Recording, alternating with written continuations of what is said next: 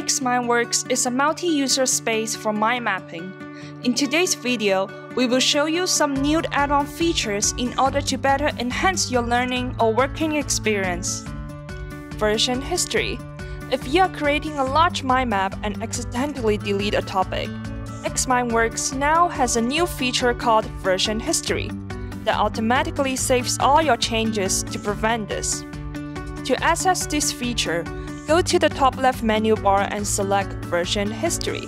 From there, you can choose the relevant mind map and click on Restore to revert to the previous version. XMindWorks in Notion XMindWorks now supports embedding in Notion, eliminating the need to switch between multiple tools in order to get work done. Here's how you can do it.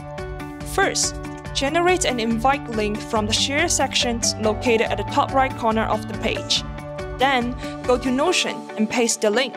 Select Create Embed to view and edit the mind map with multiple users in Notion. Following Collaborator This feature enables you to track the working process of your team members, and sometimes you can even use it as a presentation mode.